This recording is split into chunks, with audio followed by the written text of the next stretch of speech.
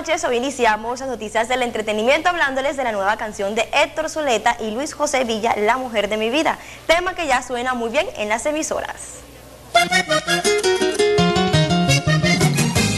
Héctor Zuleta y Luis José Villa siguen con el reto en los diferentes medios de comunicación de Barranquilla. Los artistas hablan de la producción y del video musical de la canción La Mujer de mi Vida. Un trabajo que consta de 12 canciones de los más reconocidos compositores vallenatos y que pues en estos momentos nos encontramos de promoción por toda Colombia. conmigo, a mí también me está pasando lo mismo. Eh, la hicimos en una en una casa de un amigo que nos prestó muy bonita, amplia, donde se hicieron varias escenas y se los recomiendo. Buen video. Si quieres recorrer las principales calles de Barranquilla en limosina con Héctor Zuleta y Luis José solo debes enviar tus cartas a la carrera 48, número 7583, local 5, con un mensaje alusivo al amor y la amistad y a las noticias de Telecaribe. Y buscándome y mirándome, enamorándome. Así es, sigan enviando sus cartas. Más noticias para los amantes del arte, la fotografía y cine en Barranquilla se llevará a cabo la décima primera versión del ciclo Arte.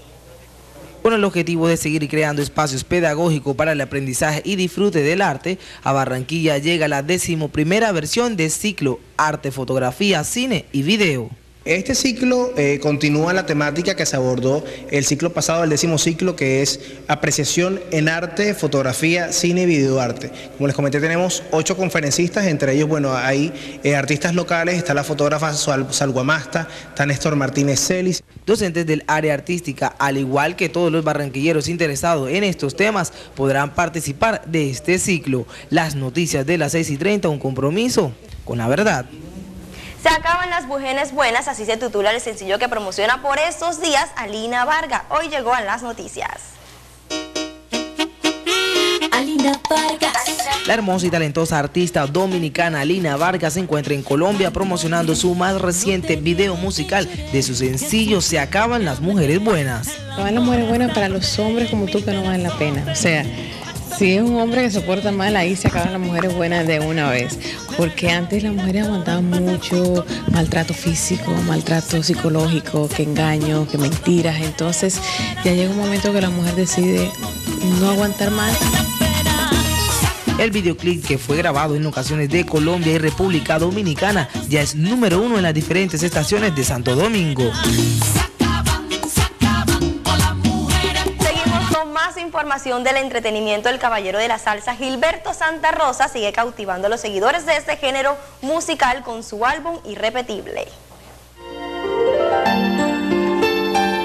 A pesar de que Gilberto Santa Rosa ha logrado mantener una carrera consistente en la música, el caballero de la salsa quiso rescatar la frescura de un nuevo sonido y la diversidad de letras y ritmos.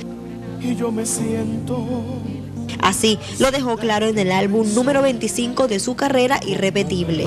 En esta producción el artista presenta 10 temas, 5 a dúo con grandes intérpretes como Rubén Blades, Johnny Ventura, Cani García, entre otros, desde las emisoras nacionales e internacionales. Tu recuerdo me golpea aquí en el alma cada vez que me descuido buena canción nos despedimos, Liliana Marco. Muy buenas noches. Como es el título, Se acaban las mujeres buenas. Se acaban las mujeres buenas de Alina Vargas. un botón, no creo. Eso sí es verdad, pero así es el título de la canción que ella quiso llamar pues a su sencillo que promociona por estos días aquí en la ciudad de Barranquilla. Y hay que escucharlo además. Muy bonita la canción, sí Hasta aquí las noticias. Recuerden que las citas mañana puntuales de 6 y 37 de la noche. Que descansen.